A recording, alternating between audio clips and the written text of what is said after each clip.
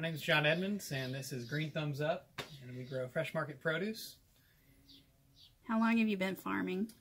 So I've been seriously going at it for about seven years now.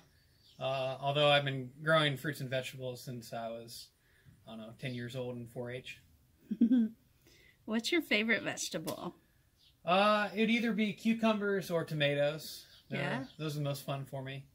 Uh, but yeah, I, I really enjoy growing uh, fruits, I'd say. Tell me a little bit about what we're looking at here in your high tunnel.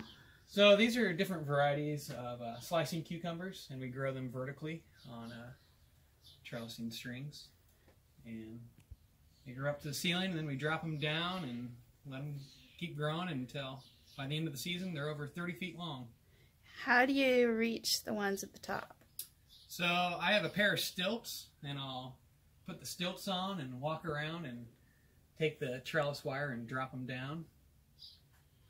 So when you drop them down, they coil at the bottom.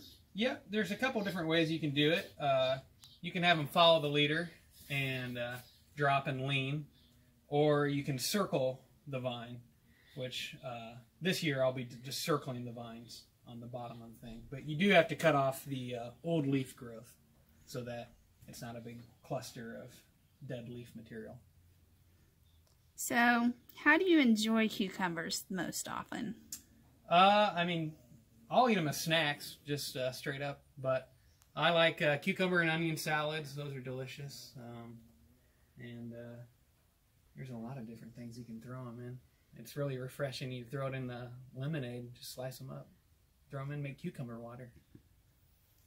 Why do you love cucumbers?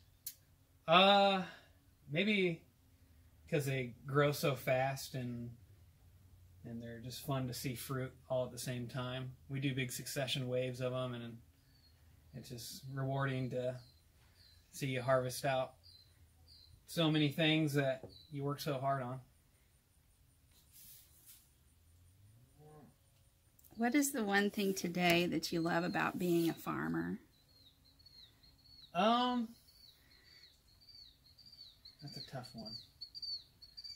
I don't know. Trying for me personally, it's trying new things and growing new things and just seeing things come to fruition.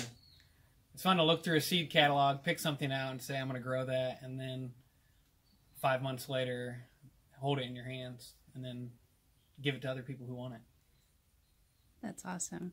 Thank you so much for letting us tour half of your operation. We'll be looking at the other half in a little bit. Thanks for coming. I'm going to zoom in behind you there for the cucumbers. They're really beautiful. Probably a couple days days away. Yay! Thank you.